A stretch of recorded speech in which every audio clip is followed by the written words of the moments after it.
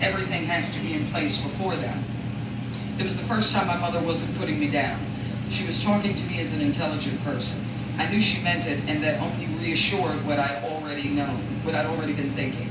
I had to go back to Atlanta and get with my old crew and make real money. I didn't want to leave because I didn't want Antonio to feel like I was abandoning him.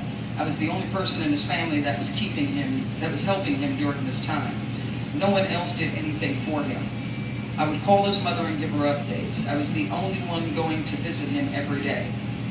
I was all he had, and I didn't want him to think I was leaving him too. The night after I talked to my mother, I spoke to Antonio, who was now calling me on the house phone at Mickey's. I would just pay for the phone calls Antonio made. I told him about uh, the talk I had with my mother and what decision I came to. He was upset and thought I was going, I was going to, I was going, I wasn't going to come back, sorry. Antonio knew nothing of my life back home in Atlanta. He didn't know the people I know. He didn't know the family I came from. He didn't know the money I made selling weed there. I assured him that I wasn't going to abandon him. I was strictly going back to make money for his defense, and I'd be back before he went to court. He didn't believe me. I could hear it in his voice. I knew the only way to prove it to him was to show him. Nothing I said was going to convince him. I made all the arrangements I needed before leaving. I contact, I collected all the money I had in the streets from those that were selling for me. I went to Stan and arranged for him to three-way Antonio's calls to my cell phone. To my surprise, Stan informed me that he had a second line in the house. None of the people in the house knew about it because there was no phone connected to the jack. He agreed to put the phone in the jack solely for the purpose of transferring the calls to my phone so Antonio could call me directly. I gave him 50 bucks for the favor. The day I was returning to Atlanta, I had an evening flight. I was in the neighborhood hanging out, and I ran into Ryan, who was out of hiding for that day. He wanted to go to Foul Ball, which was the bar he was shot at. I told him I couldn't get a drink because I was on my way to a junkie's house who owed me $20. I wasn't pressed about the money. It was the principle. This was an older white man who owed me money. He was ill, and I gave him two pills because he got a government check the next day. He assured me I was more than welcome to come by his house and get my money. We had done it before, but it was the first time he was ducking. Ryan walked with me to the guy's house. As usual, his girlfriend answered the door to tell me he wasn't there. I was cordial to her. After all, she didn't know me a thing. I told her to let him know I was leaving town and I'd be back before I left. Ryan was waiting for me at the bottom of the steps of the row house. She watched me as I left and saw Ryan. He and I stepped into the street and started walking toward Foul Ball when she called out to me, J.O., hey. Ryan and I both turned around to look at her. She was speaking to me, but looking at him when she asked me, Rob owes you money, doesn't he? She never took her eyes off Ryan. I took advantage of that and said, yeah, right now he does, but in an hour, he's going to owe him money. Ryan jumped in the conversation and said, he sure is. The tall, pretty black woman had a look of fear on her face. Never taking her eyes off of Ryan, she said, hold on a minute, and went back to the house, shutting the door behind her. I looked at Ryan trying to figure out what was going on. He had a smirk on his face and a bit of a fire in his eye. Before I could ask him what was what was all uh, what that was all about, the woman opened up the door and said, "Here," holding out a small wad of money. I walked back to the house, climbed the steps, and took the money. It was all there. She said, still looking at Ryan, "I don't know what you do to him about your money, but I know what he'll do." She was afraid. I looked at Ryan as I walked down the steps. He was ear to ear grinning, chipped tooth in full view, looking like a badass little boy with a goatee, nodding his head, acknowledging her fear and giving her reason to have it. I just laughed and told him, come on. We walked to Foul Ball. I gave Ryan the money I got from the woman and bought him a beer. We had a good laugh off of that. I looked at Ryan as a little boy, not in a physical sense, but in a cute, young guy sense. He was cute and slim. He was always laughing and smiling, being playful and silly when we hung out. He always called me Big Sis. He was so cute, he couldn't be mean. At least that's what I thought. I now know better. I should have known better all along. We have the same issue, being mixed kids in a black environment. Yeah.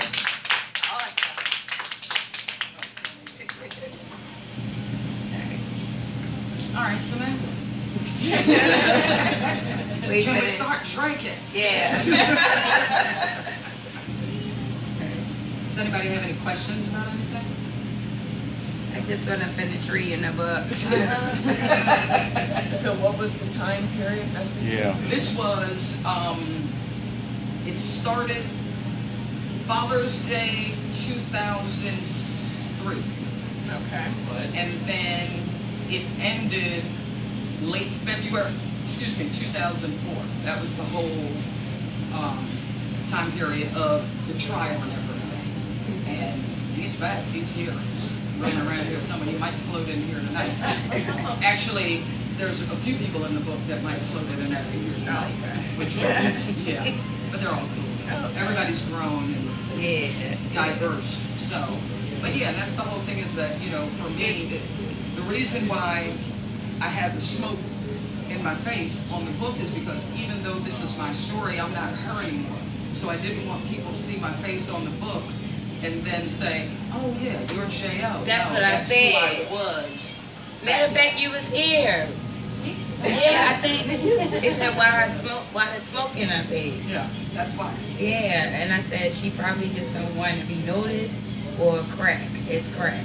No. No, I mean, I mean, I had to say either or. Yeah, but I get it, yeah. yeah, that was the whole reason was, it's just, it's my story, it's just, I'm not yeah. her anymore, so I just don't want the confusion of. Yeah, yeah. Because I've had people who see me after the book and they're like, can I call you J.O.? No, you can't. Well, I mean, this is the first time meeting you, and I really didn't expect this like petite, demure-looking woman. You were Who's like petite?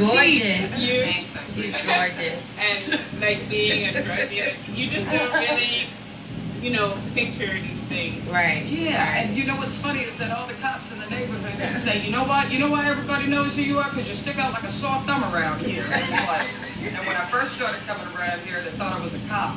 I would walk into like, let's say there was fast pizza up the block. I'd walk in and get a slice of pizza, and you'd hear phone off the hook, and that meant police were in there. It was me The whole time. the whole time. I didn't know. I didn't know. I, I was so green when I came around here. I didn't talk to anybody for three months because I didn't want them to know that I didn't know anything. I had never seen anything like this. Yeah, you know it's what I mean? different. Yeah, it's completely different. But at the same time, you know, this area is such a tight community and it's so close and everybody loves each other. You know what I mean? And that's what I love about this neighborhood. And I'm always going to love this neighborhood and the people that are in it because they took me in as family when I was a complete stranger Mhm. based on who I was with and the fact that I wasn't a jerk.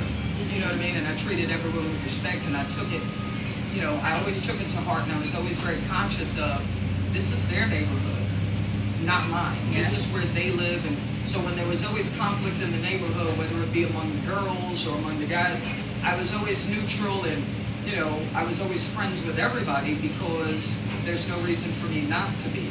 You know what I mean?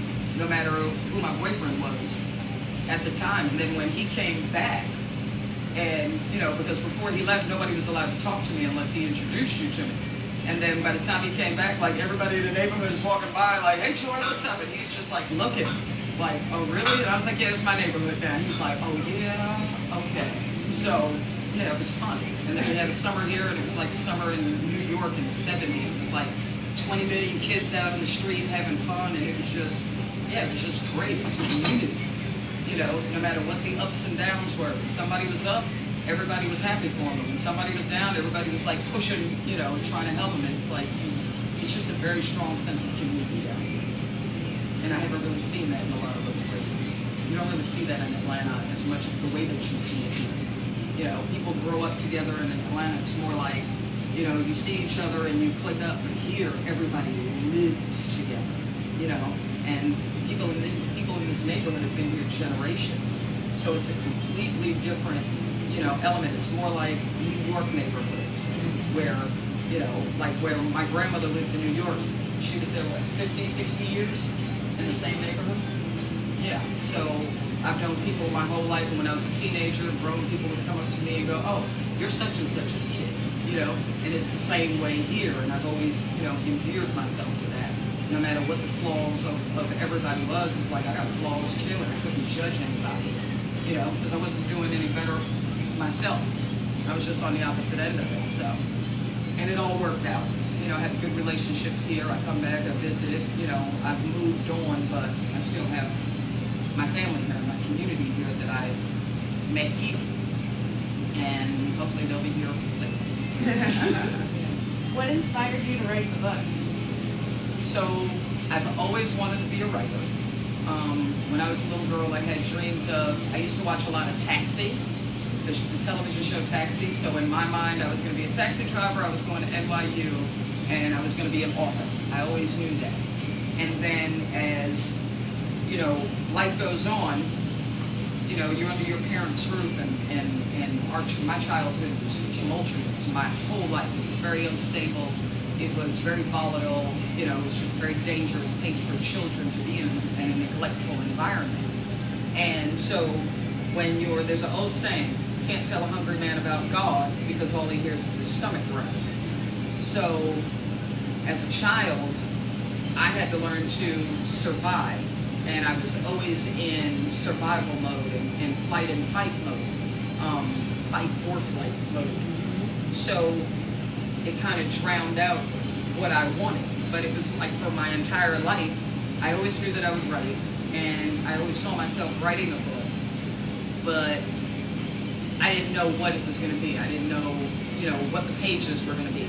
And all of my friends were telling me to write about my childhood.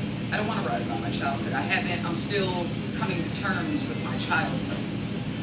And that's mainly because it's easier for me to accept my guilt and my responsibility for the things that I've done to myself and to others. It's easier for me to apologize to that than to deal with what was done to me and having not received acknowledgement or apologies for that. So when I do write that book, I don't want it to come from a place of anger. I want it to come from the same place that this book came from, which is a place of settle. So in saying that, um, Antonio, the character in the book, told me about a friend of his who was incarcerated who wrote a book. And the author had received $70,000 for. So he was like, and, and Antonio at the time was incarcerated. So he asked me, he was like, you should write a book. And I had a flip answer. I was like, shit, you got all day, why don't you write a book? And he was like, yeah, but I can't write. You can't. And it made sense. And then my defenses came down and I, we were talking about it, and I was like, yeah, but what would I write? And literally within five minutes of trying to think about what would I write, this story came into my head. Literally the beginning, the middle, and the end, just straight into my head. Mm. And I looked at him, I mean, I was, we were on the phone, and I said, yeah, I know the story. And he was like, which one are you gonna, he's like, what are you gonna write? And I said, about you getting arrested for shooting Ryan, which is Bradford is his real name. Mm-hmm. So I said, I'm gonna write that story.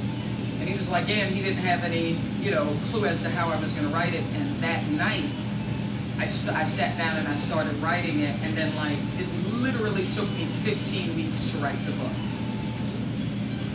And then from there, it was a matter of just editing and all of, you know, those types of things. And then that was the book.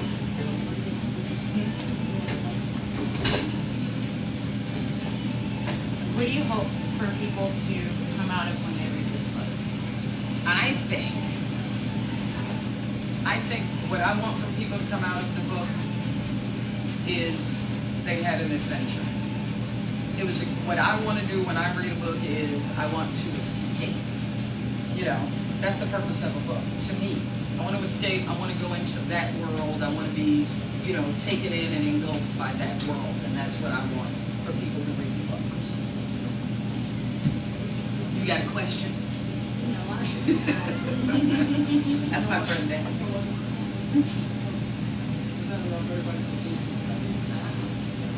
Can you hear me? Mm-hmm. She can hear me. What changes do you see in Pigtown?